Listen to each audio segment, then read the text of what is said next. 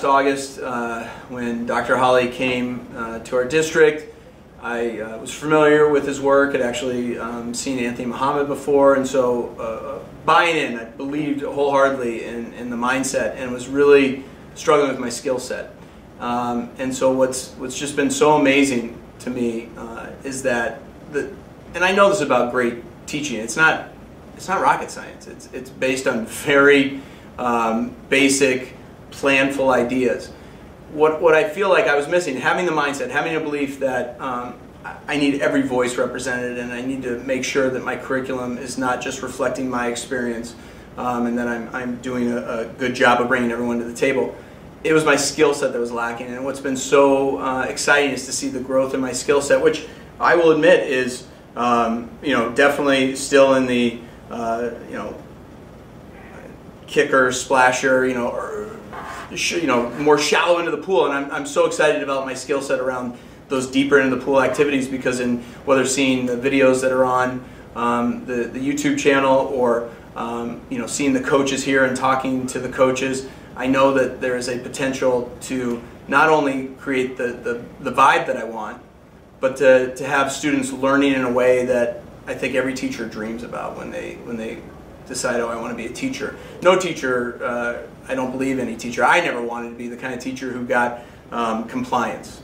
I mean, that, that's wonderful, I guess, in the sense that you're not having um, um, you know, kids bouncing off the walls, but in some ways I'd rather have that. Compliance is in some ways the, the most uh, heartbreaking thing to see as an educator. And while I've really been a mindset believer before I guess I realized the, the terminology, it's the skill set that, that has to come along. And so I can only imagine um, where I'll be in a year, three, five years, and, and just excited about that journey. And, and, more than anything, excited to have a conversation with my colleagues around practices that are, that are so concrete that there is no ambiguity.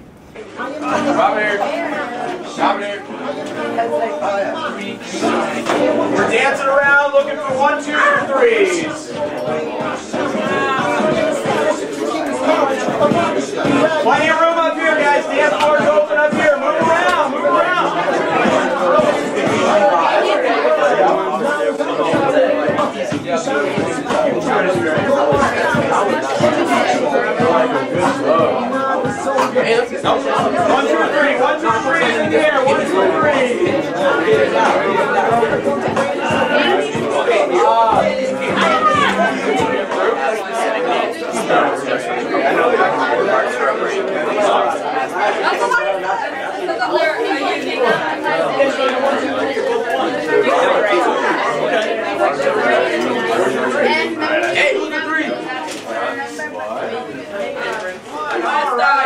Head back. Oh, hold on, sorry.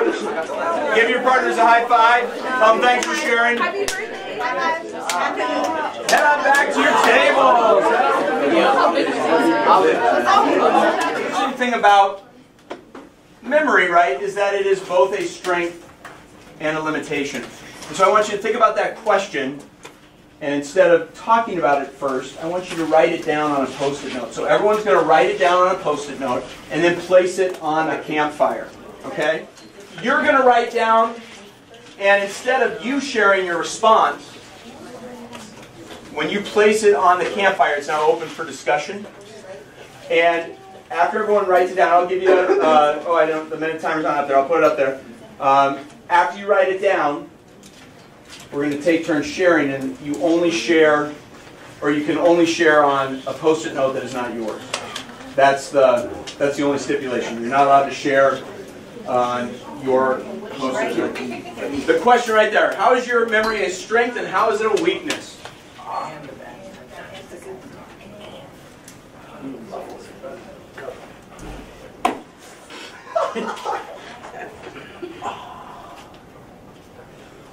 While the timer's on, please.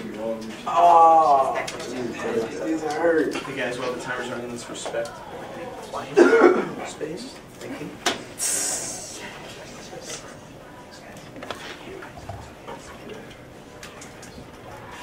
You have 28 seconds.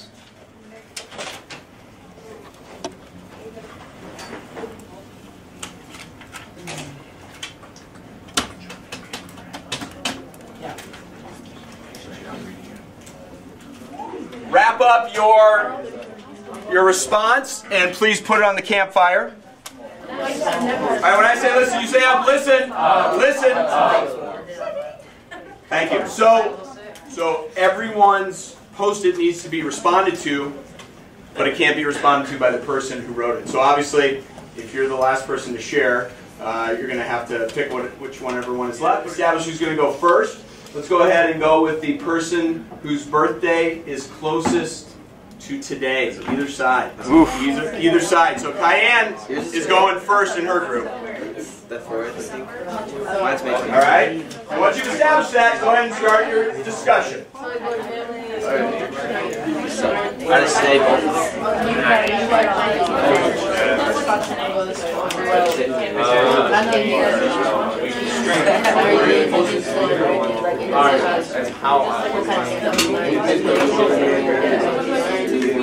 Seconds.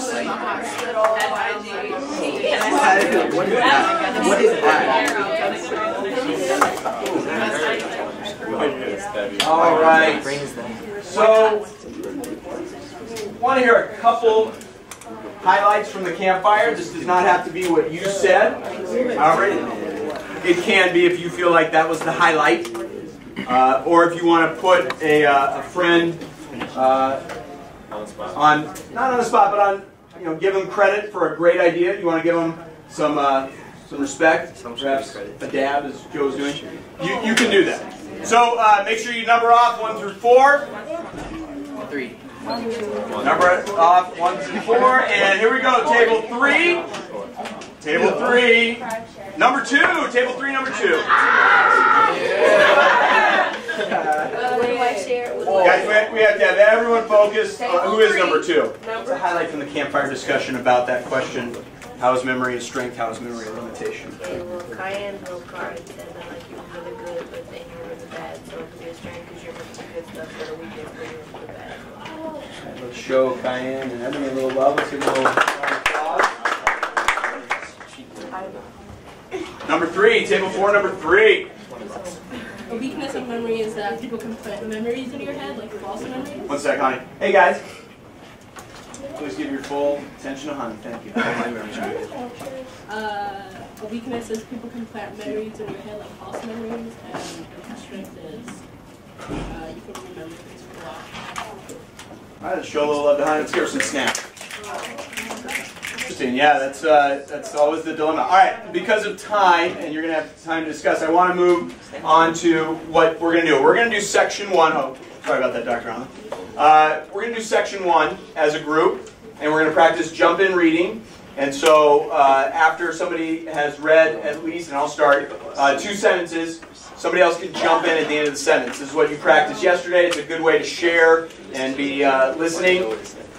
You're also going to be marking up with either a exclamation point because you find that interesting, a question mark because you didn't understand it, a capital D because you disagree, or a heart because you love it. Make sense? Yeah. yeah. Section one. One of the last times I saw my grandmother in her nursing home, she chatted cheerfully about her son who was away studying at university. Her story was, uh, I I can't, I don't know what that is. Lucid. Lucid. income complex. It was a, oh my god. It was as though a perfectly plausible antidote had been plugged from, oh my god, from several decades. will gradually develop amnesia about recent happenings while retaining a wealth of detail from their younger days and make up stories to cover their embarrassments about the blanks. And generally, they know their memory is foggy. The kind of storytelling my grandmother did after a series of strokes is a little different. Neurologists call it confabulation. It isn't fibbing, as there is no intent to deceive and people seem to believe what they are seeing. Until very recently, it was seen simply as a neuro- neur- neurological def- defi- deficiency. But those are big words, you can't You even got say it. it. Good job, Matt. Keep going. A sign of something gone wrong. Now, however, it has become apparent that healthy become conf- confib- I'm done. In fact, because of time, I'm going to have you work on uh, section one as a group. Review, and if you have not marked up, please do so. Review your marks, what you found interesting, what you disagreed with, what you had a question about, and then what you put a heart by. And a heart doesn't mean that you're in love with it, it's just something that really struck you. right? You're marking. You're going to come up with a 10 word or less summary, and here's the deal you have to agree on it. So when, I, when we start this back up tomorrow, I'm going to put you into four groups. You'll join another table, and as a table, you'll have to agree on the 10 word or less summary.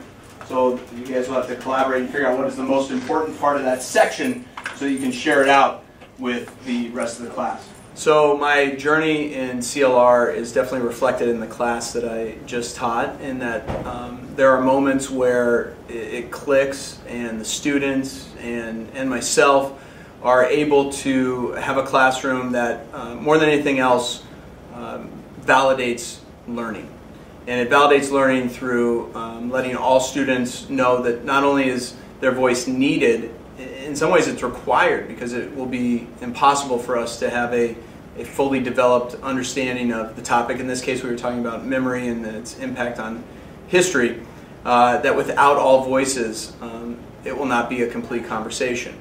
Um, but also on my CLR journey, still um, working to make it more seamless so that uh, the protocols are not necessarily um, uh, a stop in the class and re um, reconfigure and and re um, almost sort of reset the table, but are a, a, continuing flow. I think that's that's the best way to describe um, where I'm at. Is that the the flow is there, but it's not continuous, and that I know that um, uh, a lot of that comes in the the the planning and and not so much understanding how to do the protocols, but how to when, when is the right time to uh, um, have the students do a moment of silence? When is the right time to have them uh, do the campfire dis discussion?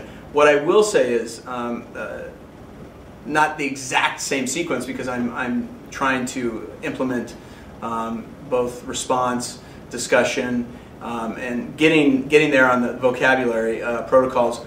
Um, but teaching this in the, in the um, past, oftentimes would, would revolve around three or four key students. And um, today I was very happy to see all voices uh, contributing to the conversation. But getting into the campfire uh, protocol was a little bit choppier than I wanted.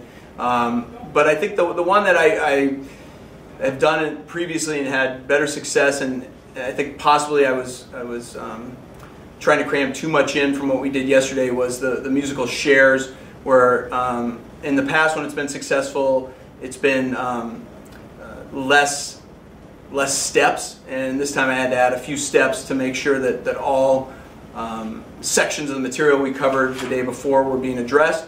And in doing that, um, I think the, the musical shares were not as crisp and didn't have the same um, vibe and, and, and, energy that the, uh, the post campfire discussion had. So what I what I've learned through my coaching experience is um, to, to go have a personal conversation with the student first and review why the, the protocol is uh, important to our ability to continue uh, an ongoing conversation, but more importantly, why it's important for us to um, switch into that behavior, not because it's what I want you to do, but because as a group, we're able to have a much more um, uh, vibrant and uh, engaging experience if all are joining and it's almost like the, the tipping point idea that uh, if you get enough going, everyone will jump in. And so if they're not there, you got to stop to, to re, uh, re-educate.